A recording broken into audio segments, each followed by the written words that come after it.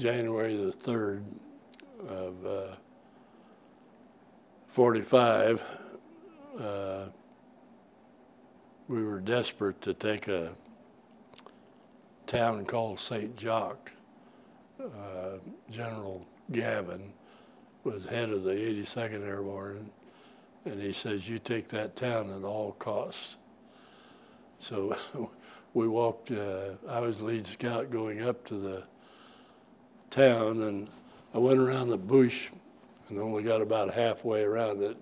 Started off in the wrong direction. The company commander says, Where are you going? I said, Well, in this right? And he said, No, give me your. He'd given me a submachine gun to carry at night. And he says, Give me the Thompson uh, submachine gun. And I gave it back and got my rifle back. And uh, we were not over five minutes from St. Jock.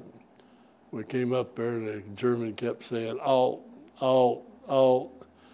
And finally, everybody cut loose at where he was. And back of him was a whole platoon of Germans. Killed every one of them, and they killed him too. They had a picture of that in the Life magazine, as a scene from the war. They, uh, we went on up to the houses and just knew there had to be Germans in those houses. Went in the first one, they had these Panzerfausts they stacked up, and you can smell it. Uh, Germans had a, a smell like uh,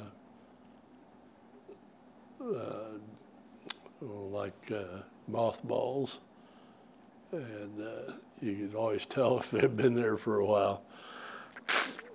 So the sergeant said, Biddle, you go upstairs and see if there's anybody up there. I took a flashlight in one hand and a rifle in the other. Wasn't a bit afraid at that moment. Went all through the house, couldn't find anybody. And he said, I'll bet they're in the basement, cellar. He uh, lifted the cellar lid, and there was uh, seven Germans down there. So he just took a grenade and dropped down. And they exploded, and they said, "Comrade!" And they all gave up, come up. So we took that town without losing a man.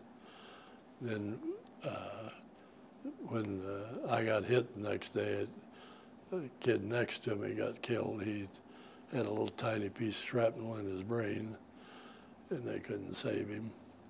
And one other guy got killed there. Uh, it's at 88.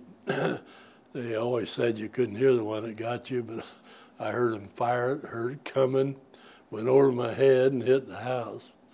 And it apparently turned me halfway over and sliced through my neck.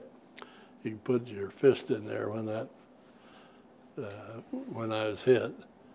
And they didn't do anything with it, but they put a bandage on it. And when I got back to the hospital, he said, "Well, it's healing good. Just don't fool with it."